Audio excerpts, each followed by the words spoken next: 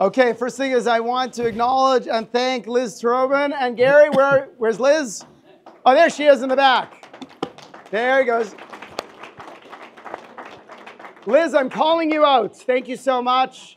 I received a phone call from Liz, and she was very, very passionate in terms of bringing our guest speaker here. Mort Klein. Mort is the president of, of the Zionist Organization of America and uh, super, super interesting man.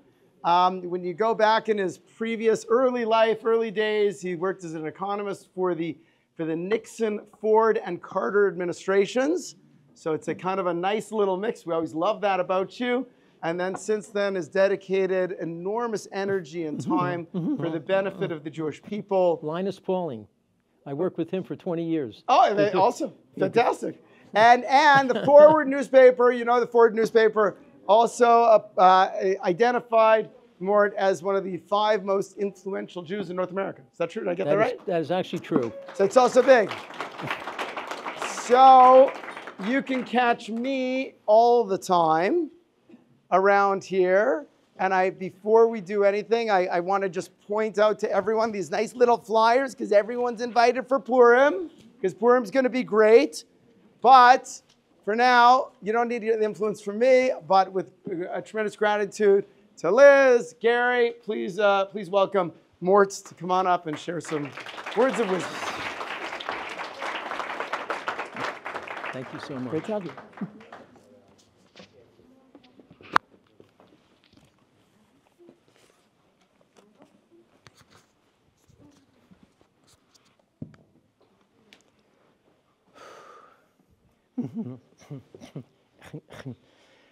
Well, thank you all for coming out.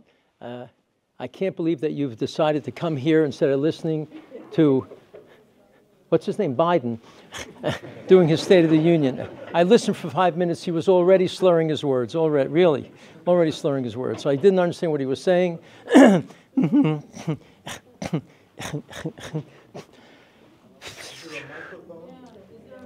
I'll, I'll try to speak louder. I'll try to, I will try to speak louder. so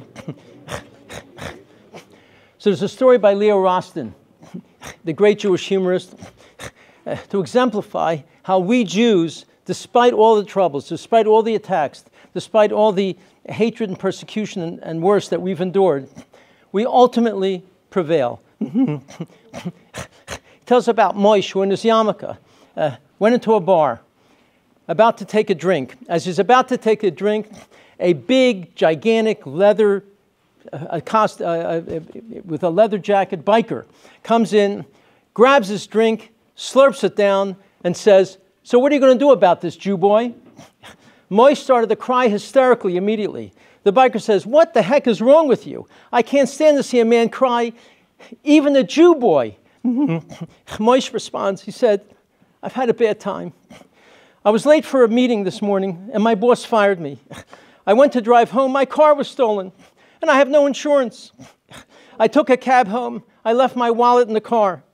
I got home early, and I see my wife in the arms of one of my best friends. I run out of my house. My dog runs after me, starts biting at my leg, destroying my nice suit that I had just purchased. I was so depressed that I decided I'm going to come to the bar to get up the courage to end it all. So I put a capsule of poison in my drink. but enough about me, Mr. Biker. How's your day going so far? it's Leo Rosten. um, First of all, you should all know uh, my wife instructs me to inform you I have Tourette syndrome. It's a neurochemical disorder. It makes me make sounds and have facial tics I can't control. I've had it since age five. uh, I even lost a few girlfriends before because of it. uh, not recently, uh, by the way. and uh, as soon as my wife showed any interest in marrying me, I married her immediately. I didn't want to be alone. But I don't have the worst kind of Tourette. The worst time, kind is you curse for no reason whatsoever. But whenever I curse, it's always for a damn good reason. uh, ZOA is the oldest Israel group, one of the largest. we have a, uh, a government relations division. We have full-time lobbyists on the Hill. We have a campus division. We're on 100 campuses. We have a legal division where we use uh, the, the courts to promote our agenda. By the way, it is ZOA who for six years launched the campaign to change, to reinterpret Title VI of the Civil Rights Act, which said it is illegal to harass or discriminate against uh, minorities or ethnic people, but it didn't include Jews. We lobbied for six years to get Jews included under Title VI. It was never included. We begged all the major organizations to help us in this campaign. None of us would do it. In fact, saying you don't do things by suing people, you do things by diplomacy. That's what Abe Foxman told me from, from ADL by, at the time. After six years, looked close that we're going to get this change, we got 40 members of Congress uh, to fight for this with us. Uh, then all the organizations joined us. They were afraid that we would get full credit for this very important act. Now you see many, many uh, lawsuits under Title VI being uh, uh, uh, lodged. Uh, we have lodged more than anyone else. so that's uh, just one of the many, many things we've done. I, I, have a whole story about how we are the ones who got uh, the who who really initiated getting the embassy moved uh, from Tel Aviv to Jerusalem. I yes. and all credit is due to Senator Jon Kyl of Arizona. He was the greatest friend of Israel. He's, he left, he retired. And I went to him uh, to, to say him, let's do legislation to move this embassy. It's ridiculous. I won't, it's a whole story. I won't get into it. We have other things to talk about tonight. But Jon Kyl deserves great, great credit. It was a very rough campaign. I could get no Jewish organization initially to go on the bill. They said this will only cause the Arabs to hate us more. There'll be more terrorism. This will destroy the chances for peace. I'm talking about all the major groups whose names you know refuse to help us with this. But again, once we got 40 members of the Senate on the bill, they all rushed in, afraid that we would get sole credit. It's a whole story to it. I won't get into it. uh, before I start, I always like to show a picture of the Middle East. We have to be reminded that uh, the 22 Arab countries are all in orange, huge. Uh, Israel, which you can't see, is in yellow. That yellow is actually smaller than it is because Israel's given away 40% of Judea and Samaria, all of Gaza. So the is actually smaller. Israel is one eighth of 1% this landmass of the Middle East. and the whole world is saying the way to resolve this is land for peace. And who's giving up the land? Not that it works. We know it doesn't work. That's another story we'll talk about in a moment. Imagine, by the way, suppose there were 22 Jewish countries, these orange, and there was one little Arab country in yellow. And Israel was saying, We want a 23rd Jewish country carved out of this tiny Arab country. You think the world would say, Good idea? They'd say, You Jews are disgusting. Leave the Arabs alone. They have nothing. You have 22 countries. Enough already. But when, with the Jews, no. They're now pushing more than ever before, right now, for a Palestinian Arab terrorist state. I want everyone to understand that America, since the very beginning of our creation, the leaders of America and the citizens of America have been extremely supportive of the Jewish people and the Jewish state. President Lincoln, many times in his speeches, would say, Reestablishing Israel is a noble dream shared by many Americans. Uh, President John Adams uh, would say many times, I really wish the Jews would reestablish Judea as an independent Jewish nation. In 1891, top Methodist leader William Blackstone uh, put together a petition to President Harrison to induce and plead and demand that the Ottoman Empire turn the region of Palestine, it's a region, it's not a country, it's a region, uh, over to the Jews. He got 400 signatories, 1891. The Chief Justice of the Supreme Court, the Speaker of the House, the Chairman of Ways and Means, the Chairman of Foreign Affairs, future President William McKinley, mayors of Baltimore, Boston, Chicago, New York, Philadelphia, Washington, editors of the leading newspapers, leading Episcopalian ministers, Methodist, Presbyterian, Catholic clergy, business leaders like Rockefeller and Morgan, all signed this in 1891, demanding a Jewish state. We should understand how much America has cared about the Jewish people. By the way, uh, Teddy Roosevelt made speeches saying it is entirely proper to start a Zionist state around Jerusalem. Teddy Roosevelt. And I can really go on and on. Uh, of, the, of the leaders uh, uh, promoting this agenda of, of Israel estab- being established as a Jewish state. And how many of you know this? When our, uh, uh when our uh, leaders who were creating, re- creating America were looking for a seal, one group wanted a seal that we have now of the eagle on our seal. Three others and many others, wanted a different seal. Benjamin Franklin, Thomas Jefferson, John Adams, all promoted to have a seal showing Moses uh, uh, staring at the shore, at the sea, the Nile, extending his hand over the sea, causing the sea to overwhelm Pharaoh and his military, the story of the Exodus, and raise from a pillar of fire in the clouds, reaching out to Moses in this seal to express that he's acting by command over the deity of, of Hashem or God, and the children of Israel looking on. These three giants in our history wanted that to be the seal. That's the closeness they felt to the Jewish people and what the Jewish people represented.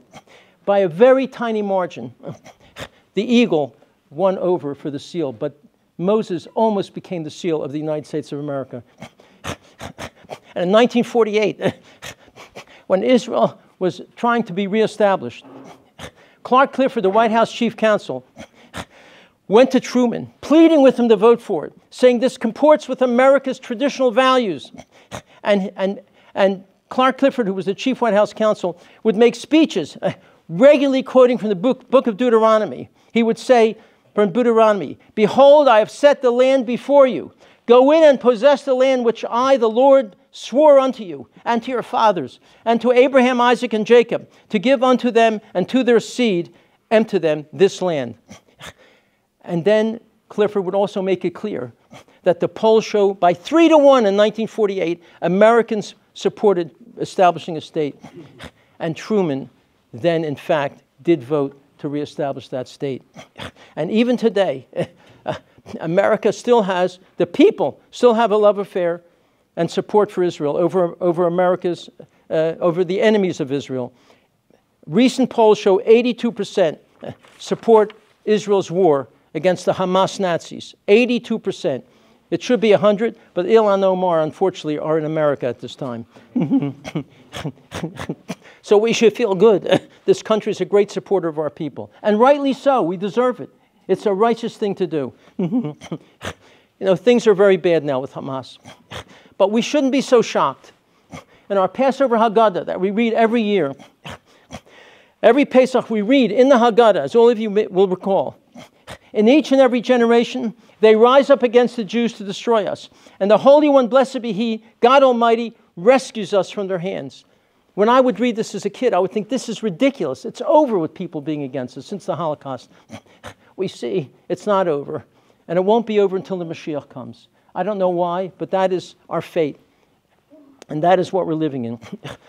and this has been true throughout history. But every time we've been attacked and we've had serious issues, we have overcome them and prevailed every single time. We're slaves in Egypt, we survived. Haman attempted genocide of the Jews. We survived. The Greeks outlawed Judaism. The Maccabees fought them, destroyed them. We survived. 2,000 years ago, the Romans massacred 600,000 Jews, renamed our whole land of Judea and Samaria Philistinia. They named it after the Philistines, our enemy, to stick it to us. and we overcame it.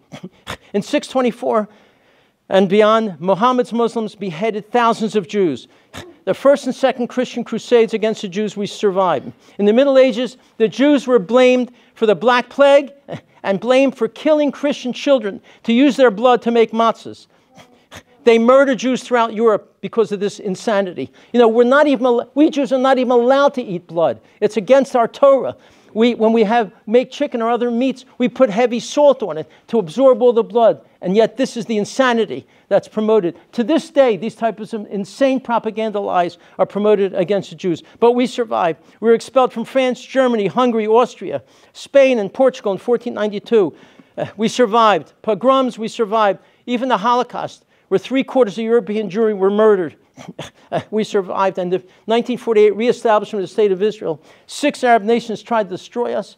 And a remarkable miracle that is enough to make you believe that there's a God in this earth, a God in heaven. we overcame six six Arab countries and reestablished our state. And now Hamas uh, perpetrated this horrific massacre and forced Israel into a war that they did not want. And by the way, what Hamas did, it's not only the massacre, murder, rape, and mutilation of Jewish, innocent Jewish people.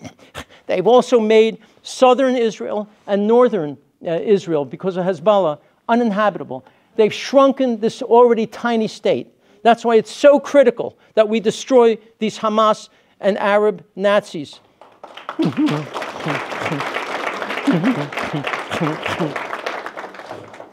and we should understand the Hamas attacks in Israel didn't start, uh, didn't happen uh, October 7th uh, for the first time. Since 2005, when Sharon gave away the rest of Gaza, by the way, 85% of Gaza was given away in Oslo. People don't realize this. It was called Gaza Jericho first. Sharon gave away the Jewish area of Gaza. He gave away an area where there were 9,000 Jews and two or 3,000 Arabs. A horrible mistake. And as soon as they took it over, there was an election. Uh, uh, Israel pleaded with Condoleezza Rice and Bush not to allow Hamas to be in the election because they might win. And they said, This is a democracy. They'll never win. They're lunatics, Hamas. Well, they won overwhelmingly. and since 2005, 30,000 rockets have been launched from Gaza into Israel, attempting to murder large numbers of Jews. It is a miracle that most of these rockets have landed in empty areas. What is the odds of that? It's almost nothing. It's incredible all these rockets keep missing. More proof that God must be with us in these sorts of circumstances. so, this has been going on for a long time. Uh, Hamas, of course, we have to always remember, is an arm of Iran, funded by Iran, uh, armed by Iran. Uh, and Iran vows to destroy America as well as to Israel. On their missiles, Iran puts death to America, other missiles, death to Israel. They want to destroy the big Satan that they call America, as well as the little Satan uh, that they refer to as Israel. By the way, Iran, most people don't know this. They trained Al Qaeda pilots and the terrorists facilitating their travel, and Iran was behind planning 9 11. And it, I've almost never read that truth. That's what kind of monstrous and evil uh, Iran is. You should also know about Hamas that their own charter, Article 7, calls for the murder of every Jew in the world. For the murder of every Jew in the world, they don't write about this. Article 13 for the destruction of Israel.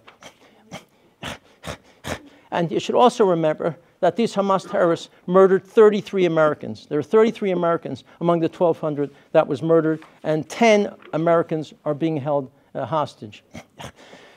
but the resilience and perseverance and courage of the Jewish people, with the help of God, we will overcome this ultimately. This, this attempt, they're the ones attempting genocide. They're the ones that saying we want to kill every Jew, not the Jews. This is another, this is as big a propaganda lie, maybe bigger than saying we killed Christians uh, to take Christian children's blood to make matzah.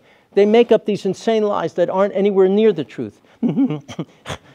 I wanted to mention a few lessons to learn about this attack. First of all, one lesson had Israel not forcibly thrown out 9,000 Jews and our IDF from northern Gaza, this couldn't have happened. Sharon made a horrible mistake. This wouldn't happen had we not left Gaza. Uh, and this really teaches a lesson. We Jews, the Israelis, should never give another inch of land away to these Arab Nazis, to these Hamas Nazis. They only use it. They only use it to better operate their ugly plans, to have more area to operate. No more concessions. Also, our government has moved to give Iran, they did, they, uh, uh, access to $16 billion in, in the last few months. And this administration has ignored every sanction that was put in place, ignored every sanction. So they're selling oil and other things to other countries, which is not allowed under, under American law.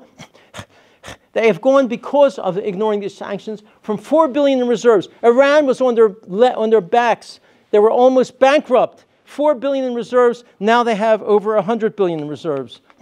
And what do they do with this money? They fund Hamas, they fund Hezbollah, they fund Islamic Jihad. They're the sponsor of uh, terrorism, Arab terrorism in this world. I say Arab terrorism. It's not Finnish terrorism or Danish terrorism uh, or Argentinian terrorism. It is Arab terrorism. you know, I just tweeted something out condemning Arab terrorism. Uh, X or, or Twitter, whatever it's called these days, uh, deleted it. They wouldn't let me say Arab terrorism. Is that something? I, I had to simply say terrorism. This just happened this, this past week. Another thing we've learned is the horrible mistakes uh, that have been made by our government that has inspired what's happened. Our government has uh, publicly condemned uh, Israel for illegally veering away from democratic values, nonsense, attacked Israelis' domestic policies, funded anti Israel government protests, yes.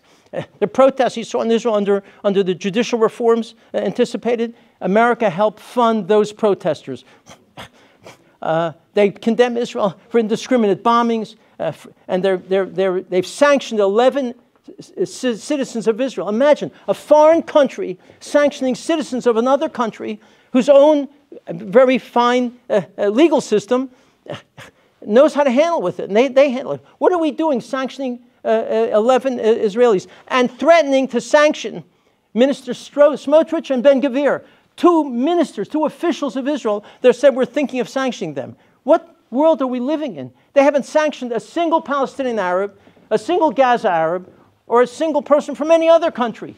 Not, not from Iraq or Russia or China, only Israel. Sounds a little like anti Semitism, doesn't it? Sounds a little like anti I don't know what else to call it.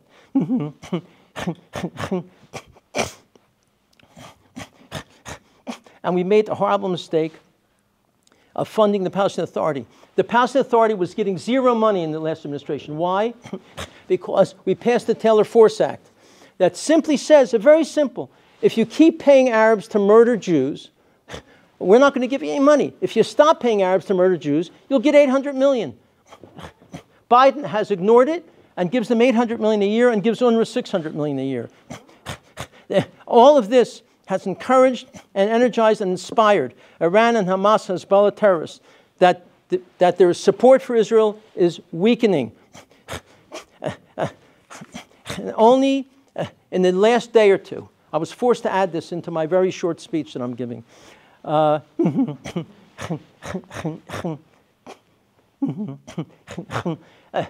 Biden tonight in this, in this speech is going to support uh, America building a port uh, in, the, in the waters next to Gaza, building a port so that, to, so that can facilitate more food and aid and whatnot coming into Gaza. 60% of this aid is stolen by Hamas or more. We all know this. And there's going to be no Americans there monitoring this. You're going to have anti Israel NGOs monitoring this, and maybe Arabs monitoring this. Of course, they're not going to stop uh, the, this, the, the, these goods from going to Hamas uh, uh, hands. Uh, uh, and also, by having this port, it's much easier for Arabs to bring in weapons. Uh, and this is a horrible mistake. He's announced this, I'm told, this very night to do this. This is a horrible act of hostility toward Israel. And all, they should be pressuring Egypt to allow uh, aid coming from Egypt into Gaza, or they should pressure Egypt to allow any Arabs who want to leave Gaza to move into Egypt. Egypt's not allowing it. We should be pressuring Egypt saying, those Arabs who want to leave, they're your brethren, they're, your, they're Muslims, they're Arabs, let them move into huge Egypt. Uh, and we're not doing that. And the second thing that most of you probably don't know about, there was a memo in early February put out by the, the Biden Obama administration. Biden Obama administration. I'll explain that in a second for those who are not aware. that if Israel violates international humanitarian law, we can cut aid in arms. This is a memo that was put out in early February. It's been ignored. Yesterday, 20 congressmen sent a letter to Biden saying if Israel goes into Rafah, which they need to to destroy Hamas, most of the officials are there now. Uh, if they do that, they're violating the memo you put out, they're violating international human rights law, and we urge you to cut all arms and aid to Israel. 20 people, three of them were Jews. Jamie Raskin of Maryland, Schakowsky of Illinois, and Susan Wild of Pennsylvania signed this along with the usual suspects who hate Jews. This is just yesterday. Another things we learned that has helped inspire Hamas and Iran is they saw administration working to fight anti Semitism, along with the anti Semitism czar, Deborah Lipstadt, the very left wing Deborah Lipstadt. Lipstadt and, and the administration allowed CAIR to be involved in putting together this uh, definition. CAIR, who not only hates Israel and Jews, they publicly praised October 7th. You hear what I'm saying? CAIR publicly praised it, no consequence to them by, by praising it. they adopted a, a, very good part of the uh, definition, the, uh, called the IHRA definition, which is very good. I won't get into it. but also, uh, they included in it nexus, the nexus definition. They said this is a wonderful addition to the IHRA definition, is the nexus definition. And Lipstadt allowed that to happen. What does the nexus definition say? It says if you oppose Israel's existence, it's not anti Semitism. The nexus, we have now formally adopted a definition saying if you say Israel shouldn't exist, it means you don't want Israel to exist. Doesn't mean you hate Jews. I mean, if you don't want Italy to exist, doesn't mean you hate Italians. You love Italians. You just don't want Italy to exist, right?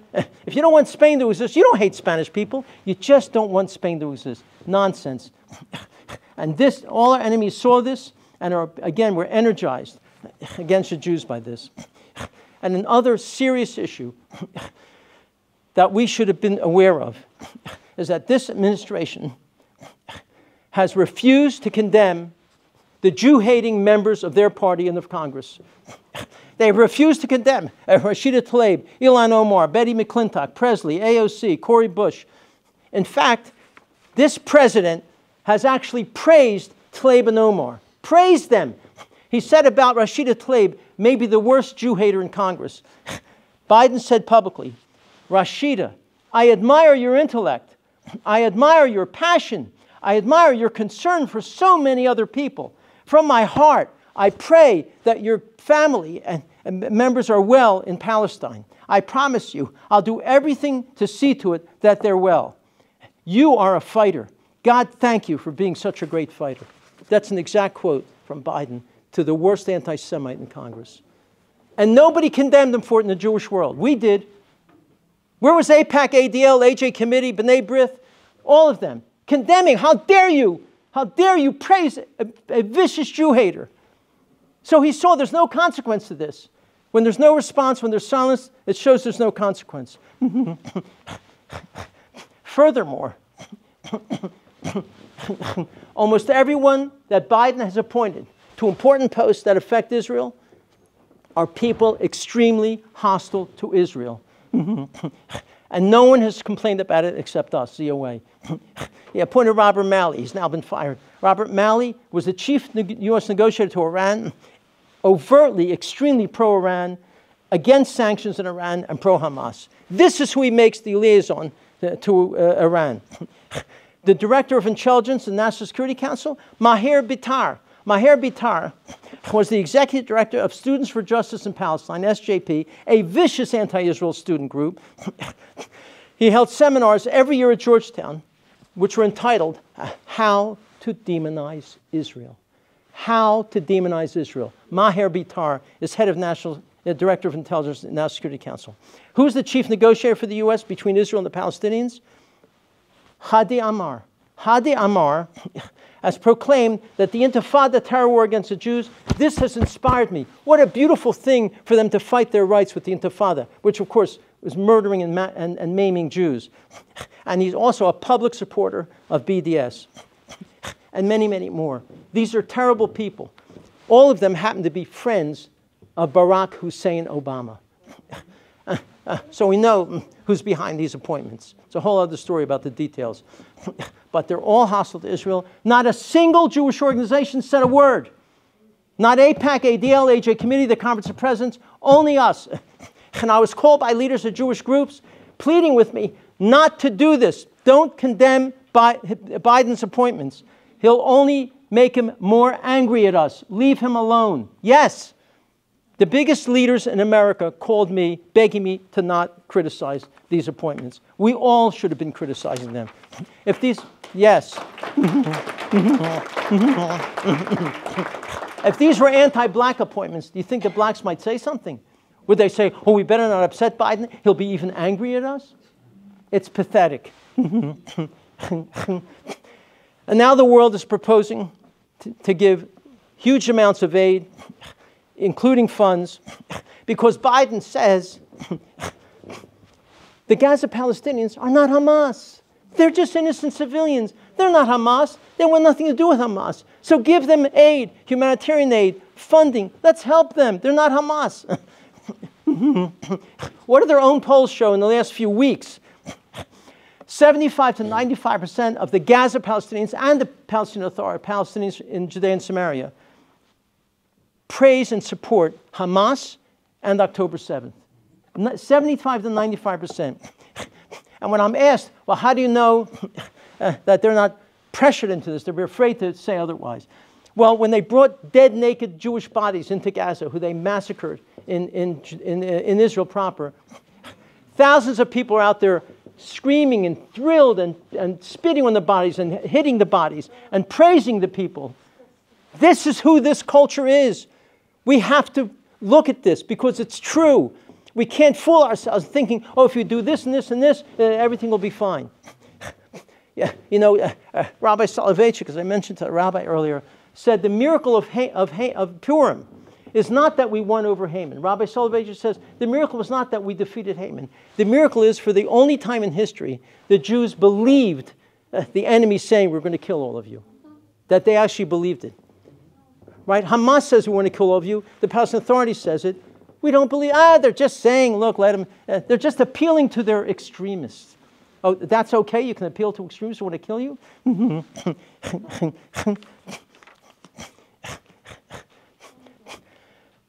the Arabs have gained growing support in America on college campuses throughout the world by demonizing Israel lying about Israel with the ugliest propaganda lies.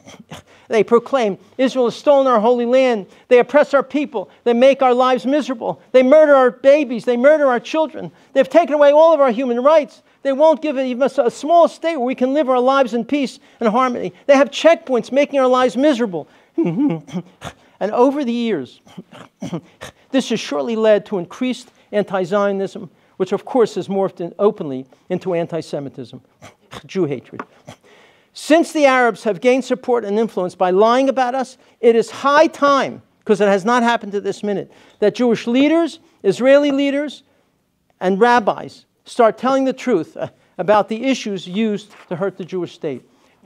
There's no pushback from Israel or Jewish leaders on the lies of the Palestinian Authority. the big lie you see on campus is what? Stop the genocide. That's a big stop the genocide. Have you heard any Israeli official, or frankly, even Jewish leader, make a speech what, nonsense this is? No pushback. and uh, officials committing uh, genocide, why do they drop leaflets all over the place before they bomb a building to get the Arabs out?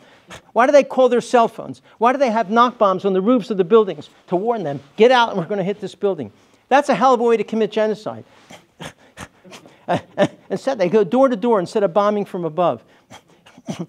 Colonel Jack Kemp said Israel is the most humane army in history. He's a very well known uh, uh, army official in England.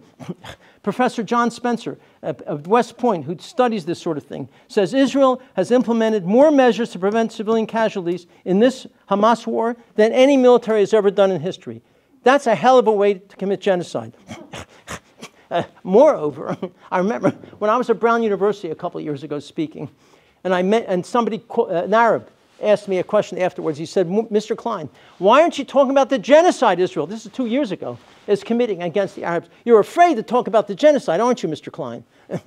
I said, you know, it's interesting you asked that question. Because in 1948, there were 150,000 Palestinian Arabs in this area. Today, it has grown from 150,000 to 2 million Arabs. I said, whoever's in charge of Israel's genocide program has to be fired immediately. He's doing a lousy job. When I said that, first time I ever answered that question, first time anyone ever asked me that, silence. There were 200 Brown kids there. There were so many kids because the front page of the Brown newspaper and an editorial called me every name in the book, a lunatic extremist, and so kids were interested. I want to hear this lunatic extremist. So they got, they got me a very nice crowd. I, I, I wrote them a thank you letter. uh, uh, silenced. The next day in the brown paper, one of the students called me and read it to me. It said, Mr. Klein expressed chagrin that the genocide program wasn't working. now, fortunately, I didn't go to Brown, so I didn't know what chagrin meant. So, so, it, didn't, so it didn't bother me.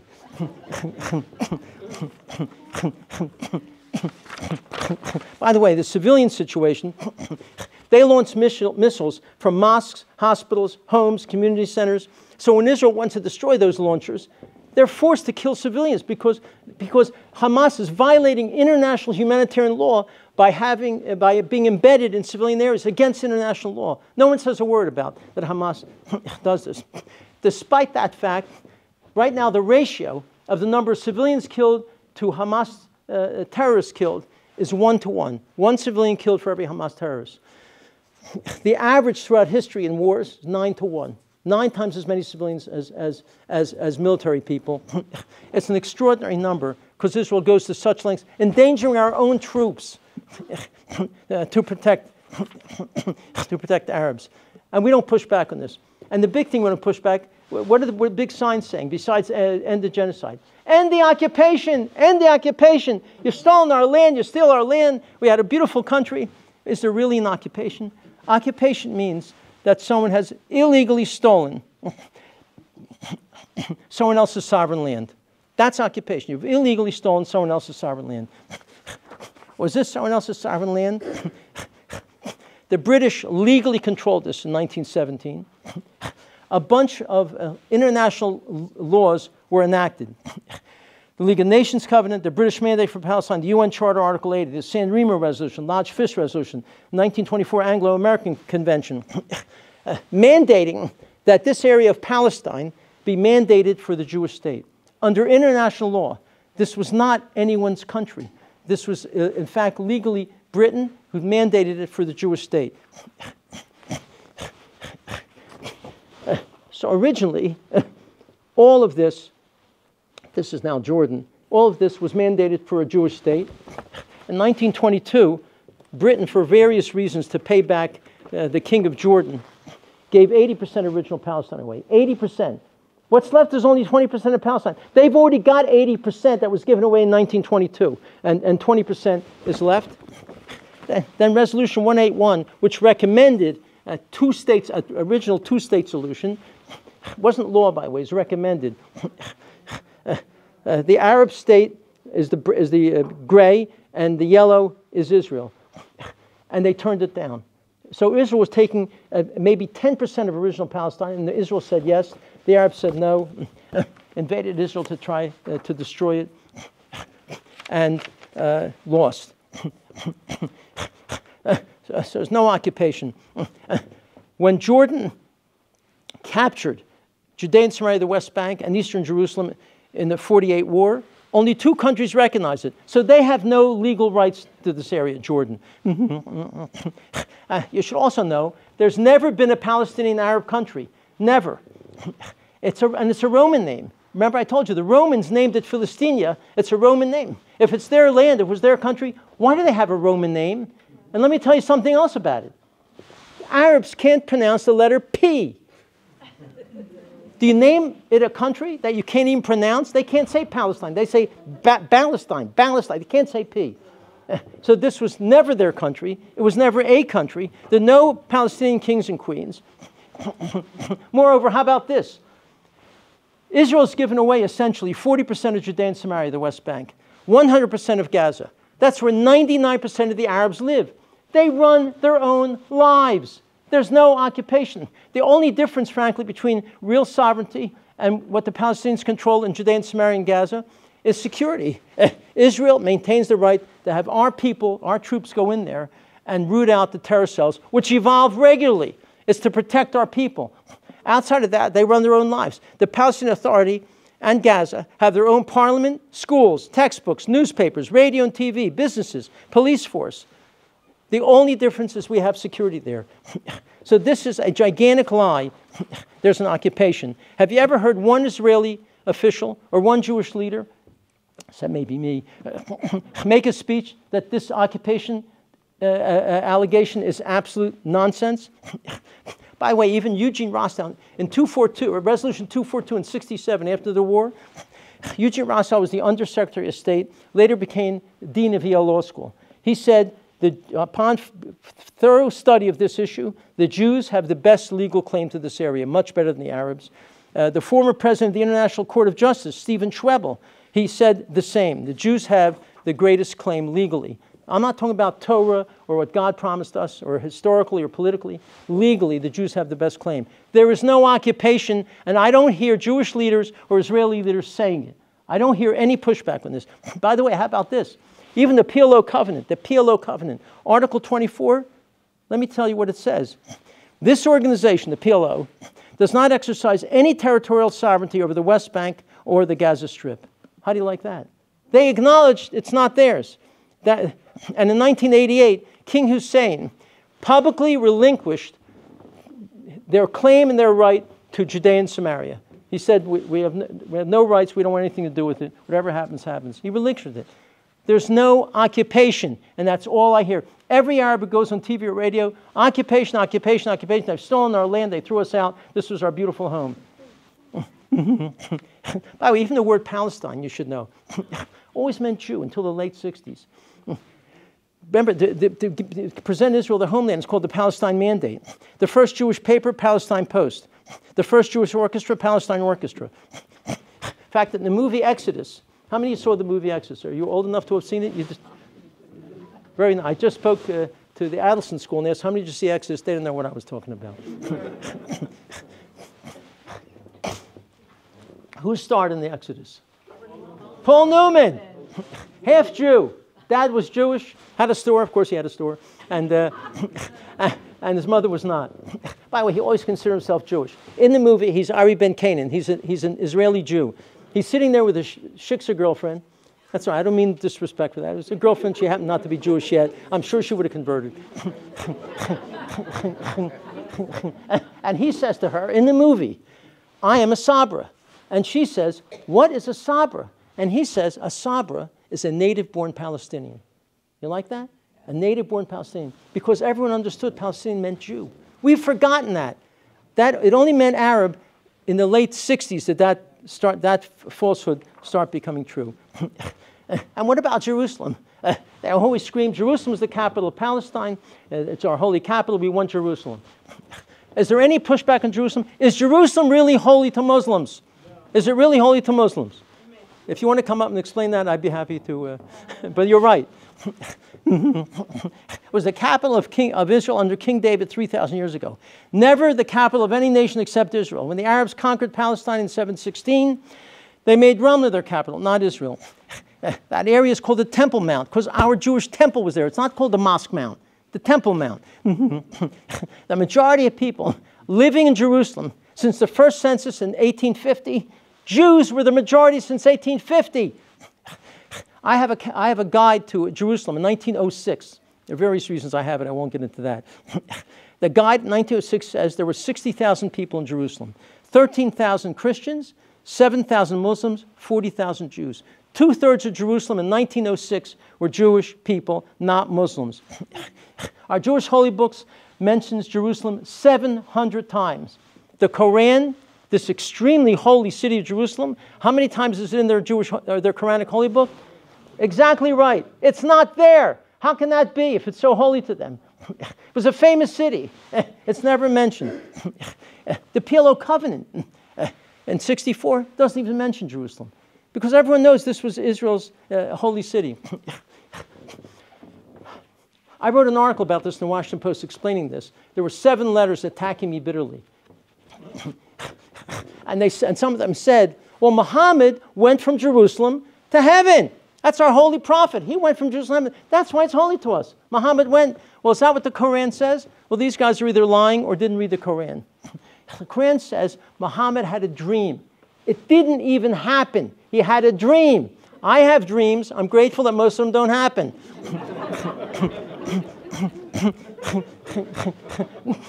it said he had a dream. He went from the farthest place to heaven.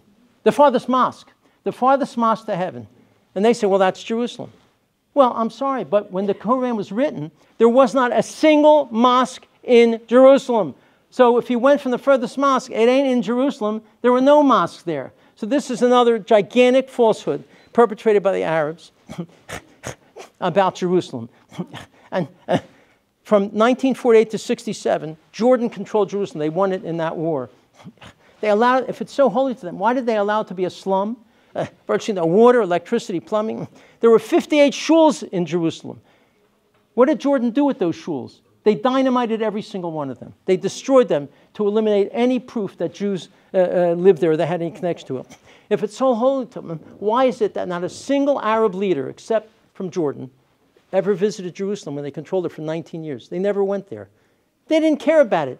Mecca and Medina are their holy places, not Jerusalem.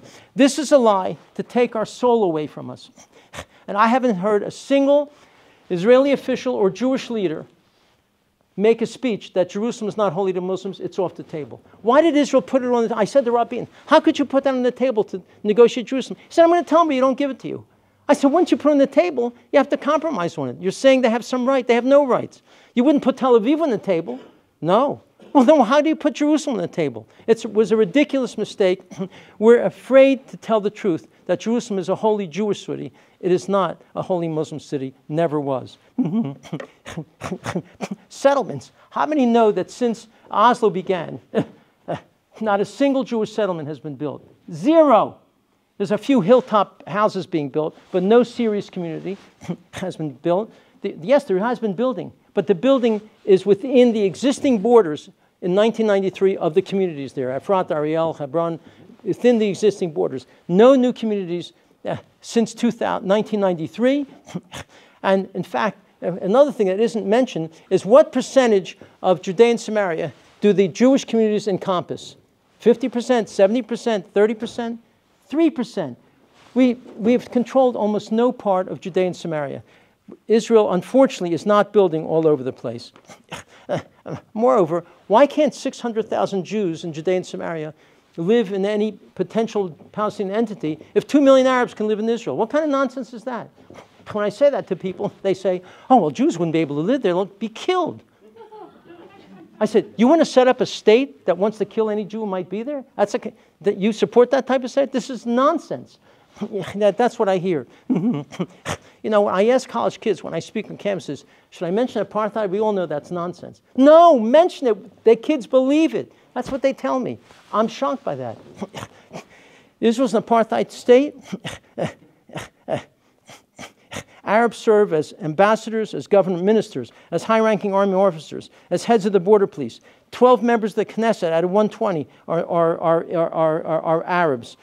20% of Haifa University, similarly Hebrew University, 10% of the faculty are Israeli Arabs. Jewish surgeons and doctors operate side by side on, uh, on Arab and Jewish patients in Israel's hospitals. they have full rights. This apartheid is thoroughly nonsensical. Even that, I don't hear major talks about it. and one of the things I hear when I speak on campuses is Mahmoud Abbas, he's a moderate peace seeker. He just wants to have a little state and have peace. And we don't tell the truth about Mahmoud Abbas. the worst Bibi Netanyahu says about Abbas, Abbas, he's not a partner for peace. Boy, that's really rough language, isn't it? He's not a partner for peace. Hitler is not a partner for peace. I think you'd say something a little stronger than that. He's a monster killer. He's a monster killer. His PhD thesis denies the Holocaust. He makes speeches saying no Jew will be allowed to live in any future state. He calls Jews great liars and fakers of history. He has parades after a terrorist, a known terrorist is killed. He has a parade honoring him. He glorifies them. He's anti gay and anti women. he pays lifetime pensions to murder Jews. It's amazing that the college kids never heard of this. And by the way, most Jews have never heard of it. He spends $400 million a year uh, to pay lifetime pensions to Arabs to murder Jews. The more Jews you murder, the larger your lifetime pension. He, he named street schools and sports teams and athletic tournaments and children's camps after terrorists. He honors them by naming it after him. he, he is an absolute monster, and we have not demonized the demon. We don't make it clear that he's horrible. It should be shameful and completely unacceptable to support Abbas. And yet we've not, we Jews have not done it, not Jewish leaders, not Israeli leaders. Abbas also, uh, whenever you kill a Jew, you get a poster like this. You get a poster like this showing the killer, This is two Egged buses being blown up. That's a Jewish star in the blue, blood running through it. And it calls him a hero and a martyr in Arabic. A poster for every killer. They're all over the uh, Arab high schools and the universities, praising and honoring monster killers of Jewish people. on Arab TV, they teach Arabs on TV how to slice Jewish necks, how to use your cars to ram into Jews, to kill them. It's on TV regularly. And imams preach this. We don't say that. We don't make that clear. And the, the Fatah Charter, the ruling party's charter, this is it right here. Uh, I'll just read a couple of articles. The charter says, we oppose any political solution offered as an alternative to demolishing the Zionist occupation in Palestine. We want the eradication of Zionist economic, political, military, and cultural existence. This struggle will not cease unless the Zionist state is demolished and Palestine is completely liberated. Armed public revolution is the only way to liberate Palestine. On and on. this is nightmarish. Imagine if Israel had anything like this. And no one knows about this. And the Jews of America and Israel don't make it clear. We're dealing with a monster. They don't believe this matters. They think he's just saying it, they just wrote it. It doesn't matter. Thank God we believed Haman. We don't believe the Arabs. and, and, and, these are Abbas's uh, atlases. This is a real atlas used first to 12th grade. Here's where Israel is. The green there, it says West Bank. This green says Gaza. The yellow, which is Israel within the 67 line, what does it say in the atlas? Palestine. Israel is not mentioned in their atlases. Their textbooks have chapters regularly all over the place. Jews are evil, Jews are the enemy, Jews are fanatics, Jews kill Muslims and Christians, Jews are treacherous, Jews are enemies of the prophets, Jews foment wars, Jews are evil racists, on and on and on, teaching little kids to hate us and to kill us. On television, I have beautiful Arab girls like this when asked about suicide bombing, she said, What could be better than going to paradise? They have whole conversations with many Arab kids saying it's a beautiful thing to be a martyr and go to heaven uh, for your country. No one knows this. This is a monstrous, monstrous culture. and Joseph Lelyveld, years ago, was the editor of the New York Times, wrote an article. He said, I visited a family of the suicide bomber Ismail al Masawibi. I was shocked this is in the New York Times by Joseph Lelyveld. Shocked to hear the bomber's mother declaring when I went to the, to the family of a suicide bomber, quote, I was very happy when I heard about his suicide bombing. To be a suicide bomber, that's really something. Very few people can do it. I hope my other children do the same. This is a mother. This is a Palestinian Arab mother. and every time there's a, a, suicide bomber who kills Jews, they have parties. They send out invitations like a bar mitzvah. Uh, the, the, parties are filled with, the Associated Press wrote, they're filled with supportive neighbors, bringing over casseroles. The 11 year old sister is basking in the sudden attention. Classmates say how lucky she is to have a, a, shahid, a martyr for a brother. The bomber's mother speaks of the 72 virgins and the friends of the Prophet Muhammad awaiting her son in paradise. This is that culture. Peres used to say, Shimon Peres, Arab mothers have the same concerns for their children as Jewish mothers. No, they don't. I wish it were true. I wish it were true. and we ignore this sort of thing. and how about this, Mahmoud Abbas, a real peacemaker? this is the actual emblem of the Palestinian Authority's Fatah Party that rules the Palestinian Authority right now. The shape of all of Israel, the kafir over all of it. Not just, uh, uh, uh, you know, not just the West Bank and Gaza. All of it has a kafir. Arafat in the center, a Kalashnikov rifle. Is this the emblem you commission if you want to make peace with the Jewish state? Why doesn't every Arab uh, Israeli official on TV, when they go on or in speeches, hold up this and say, "Look, of their emblem. This tells you everything. They have no interest in peace with us. They never do it, and that's really tragic." And finally, when I meet with members of Congress, they always say, "Just give them a state. End this already. Give them a state that'll resolve it." You know, who can take this anymore? All these years. Well, they turned down the state in 1937, 47, 48. 48 to 67, they controlled all of Judea and Samaria, Gaza, and eastern Jerusalem. They could have had a state. They controlled it. They didn't set up a state. 2000, 2001, 2008, turned it down every single time. A state has been offered to them four times in the last 20 years, eight times in the last 80 years. The first one was 1937, the Peel Commission. They offered the Arabs 95% of the rest of Palestine. Remember, Jordan already had 80%. 95%, the Jews get five. The Arabs said, no, we're not going to accept uh, uh, uh, an Israel state.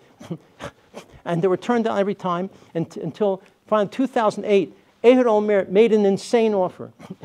Olmert, the prime minister, offered 97% of Judea and Samaria, the West Bank, 3% of Israel proper to make up for the 3% of Judea and Samaria he couldn't give away because a half a million Jews live there. He can't throw them all out. And Eastern Jerusalem. And billions of dollars in aid. Abbas turned it down. I, I already had, before he turned down, I wrote articles saying Olmert is insane. He should be impeached. He should, this is insane. What is he doing? But Abbas said no. I called Olmert, who used to be my friend. I said, How the hell did Abbas not accept your insane offer? He said, I know you thought it was insane. I said, How do you know? He said, I read your op ed. I said, Well, why didn't he accept it? Abbas said, If you get rid of three clauses, I'll accept it. I said, What clauses? One, I can't assign something that says we accept Israel as a Jewish state. We'll accept it as a state, not as a Jewish state. I can never sign that. Two, you're limiting in this, in this uh, a clause that says I can only bring in 150,000 Palestinian Arabs into Israel. I don't want any limits. I can't have limits. I want to bring a million in if I want, which would destroy Israel as a Jewish state. And three, uh, a clause that says no further claims. He says, I can't sign that. And Olmert says, he said to him, but that's the deal. I'm giving you everything, so it's over. No further claims. I'm not signing anything that says no further claims. What more proof do you need that they have no interest in peace with Israel? Land is not the issue. A Palestinian state is not the issue. They've offered them a state eight times in the last 80 years, four in the last 20, turned down every single time. so the Jews in the world must understand this Arab Islamic war against the Jews and the West. It's not about land. It's not about a Palestinian state. If it was, it would have been resolved back in the 30s. It's a religious war. They won't accept it, a non Muslim entity with sovereignty in the Middle East. It's a religious war. You know what? I tell this to Israeli officials that you have to tell the truth. It's a religious war. No, there's a billion and a half Muslims. That's a hard. I don't want to even get, begin to call it a religious war, but it is a religious war. There's no other explanation. By the way, even in Africa, in the last 10 years, black Muslims have massacred 52,000 black Christians in Africa. They destroyed 20,000 churches and, and uh, 8,000 Christian schools. Why on campuses aren't they screaming about this? Because there are no Jews involved. a religious war? Al Azhar University on October 19th. This is the leading Islamic theological seminary in the world. It's in Cairo. Al Azhar issued an edict, a fatwa, after October 7th, saying we promote that it is right and you should kill every Jew you can. October 19th, a fatwa from the leading, leading Islamic seminary in Cairo said, kill every Jew. Imams regularly in America screaming, kill the Jews all the time in their sermons. We have the tapes. Mahmoud Zahar, the co founder of Hamas, a month ago, put out a, a, a, a, a speech he, he was giving. In this speech, he says, I want everyone to understand something. He said it in Arabic, subtitles. I want everyone to understand. First, we're going to kill all the Jews. But please understand, we're not done when we kill all the Jews. Next, we're going to kill all the despicable Christians, and then all the other non Muslims. And then we're going to establish a caliphate where Islam will rule the world. He said it a few weeks ago. Mahmoud Zahar said this. And then he ends it by saying, first the Saturday people, next the Sunday people. and uh, why isn't his speech, co founder of Hamas, on the front page of every newspaper? Imagine if an Israeli official said, We got to kill every Arab. It would, be, it would be all over the place. There'd be interviews, there'd be sanctions, the UN would go crazy. They say these things, and we don't believe them. That's why Soloveitchik said the miracle of Purim was that we believed them, that they wanted to kill all of us. the one way we have to begin to minimize this Islamic war we have to tell our members of Congress to stop funding them, legitimizing them, whitewashing them, incentivizing them to do these terrible things. there has to be a constant worldwide and UN condemnation of Hamas, Abbas, Fatah, Hezbollah, and such. we need, as we did after World War II, we need to denazify the Palestinian Authority. Denazify. We did that in Germany. We got rid of all the horrible books and we, we stopped from all the people who were giving horrible anti-Semitic speeches. We stopped them from doing this. And we have to uh, publicly scream about the fact that they pay, spend 400 million a year paying Arabs lifetime pensions to murder Jews. so I will say, one of the things Israel has to do with Gaza, if Egypt doesn't allow the Arabs to move into, uh, uh, the Gaza Arabs to move into Egypt, we need a huge buffer in Gaza, or maybe even consider making it no man's land. Because when I spoke to people, and I was just in Israel only two weeks ago, uh, Jews who lived in northern, uh, in southern Israel and northern Israel, and I said, What will it take for you to go back? So many of them said to me, I can't have any Arabs in Gaza. I can't have any Arabs in southern Lebanon. I'm scared. We have to get rid of all of them. They made us think this way. We didn't want this. They made us think this way. And we have to actually consider. Jonathan Pollard actually wrote an op ed this week saying that that's what has to happen. So even though the whole world is demanding a ceasefire uh, and a Palestinian state, by the way, you know, I, in the movie, Tom Hanks movie about baseball, remember a movie with Tom Hanks about baseball and that singer was in it? What's her name? A league of their Oh, that's it. Thank you, thank you. A league of their own. One of the women on the team started crying during a game. And Tom Hanks says, what, you, what is this crying? There's no crying in baseball. There's no crying in baseball. Well, I say, what is this ceasefire? There's no ceasefire during war. Did you have a ceasefire during the Civil War, World War I, World War II, the Korean War, the Vietnam War? There's no ceasefire in war. You fight until you crush your enemy.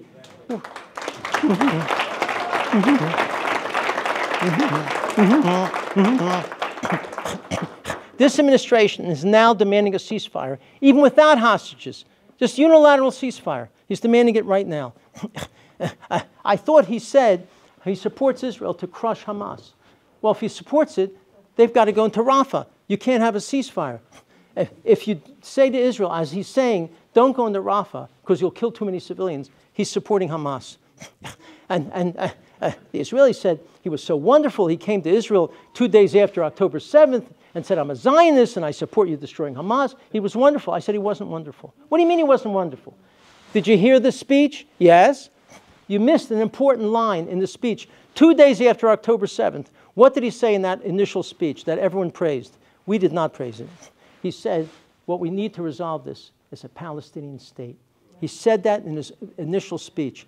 People ignored that. I didn't ignore it because a Palestinian state will be an Arab terrorist state on Israel's longest border, endangering Israel even more. Remember, Israel gave them a mini state in Gaza.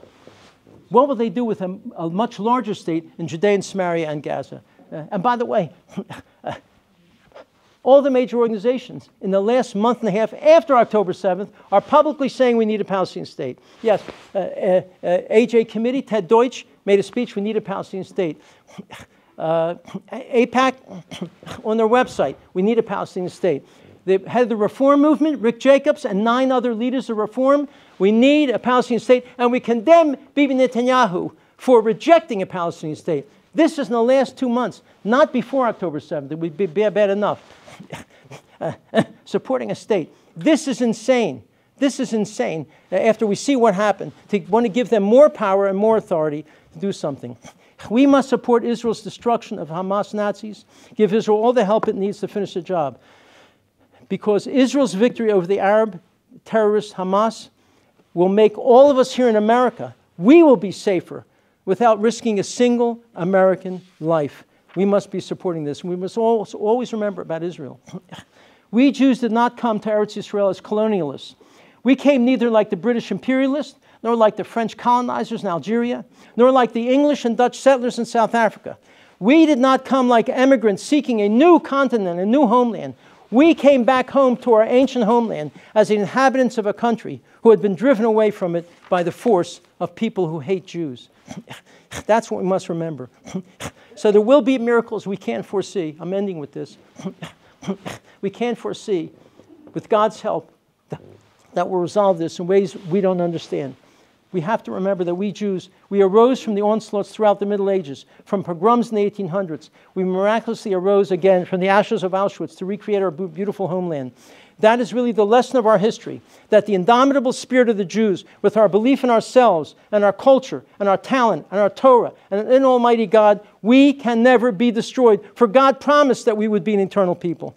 And so the miracle of a Jewish state, due to another miraculous victory against great odds, a victory over 40 million Arabs, where we were vastly outnumbered, yet we recreated the Jewish state of Israel. There'll be more miracles. We've had incredible miracles. We have to appreciate that throughout history. Who would have believed that even though Israel was David and the huge Arab world was the Goliath, we, the Israeli Jews, won the wars in 48, 56, 67, 73. It was a miracle. Who would have believed that Israel, which began with 600,000 Jews 76 years ago, would now have 7 million Jews in Israel? It's a miracle. Who would have believed that Israel, which represented only 6% of the world's Jews, now represents half of the world's Jews. It's a miracle. And remember, the Torah promised us that there uh, ultimately will be an ingathering of the exiles to Israel. And, you know, human beings would say that. We don't know if that'll happen, we humans.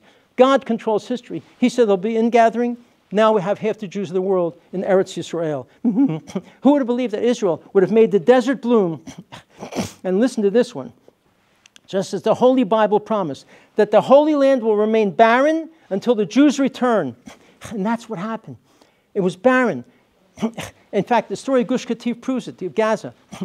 The land the Arabs called Gaza accursed. Nothing could grow there. As soon as the Jews came, they told the Jews, don't even try to farm, nothing will grow. it began to yield the most beautiful fruits, flowers, and plants. The tiny portion of land in Gaza yielded at one time most of the agricultural exports of Israel. Yet when the Jews left, when they were thrown out in 2005, the land became useless again. Even the insects participated. The vegetables had been famously bug free, now they're developed bugs. The thriving business of Gush Katif languished in the hands of the Arabs. Even the managers who worked under the Jews and had all the expertise couldn't do it. Why not? The land wouldn't cooperate because God controls history. Would human beings writing in the Torah, if was humans, uh, say that as long as the Jews uh, are not there, the land will remain barren. Humans wouldn't write that because as soon as something would, would grow, you can throw the Bible out the window prove that it's a lie. They wouldn't write such a thing. but the Torah says it will remain barren until the Jews return. That's what happened. It's enough to make you keep Shabbos, late to tefillin, and daven every Shabbos, and even every day. It's, it's so miraculous. and who would believe that we now have the most students studying in yeshivas in Israel any time in history? And who would believe that Orthodox Jews would make up 40% of the officers of the Israeli army? It's extraordinary. And who would believe that for the first time in history, a country would bring black people, Ethiopian Jews, to its shores, not to be slaves, but to be a free and proud people? That country is Israel, and that's extraordinary. and who would believe? After 2,000 years of dispersion, there are now over 500,000 Jews in the holy city of Jerusalem, 500,000 or more Jews in the Holy Land, Yehuda and Shomron, given to the Jewish people by the Lord our God, King of the universe. And after 2,000 years, we Jews have sovereignty over all the historically holy Jewish city of Jerusalem, never ever to be divided again, and that's a miracle. so I'll end by saying we need to be strong. We need to never be afraid, for God is with us. The cause of Israel is moral and just. We must act and speak out with courage. Our holy Torah promises that we're an eternal people, never to be destroyed. So it has been, so it will continue to be.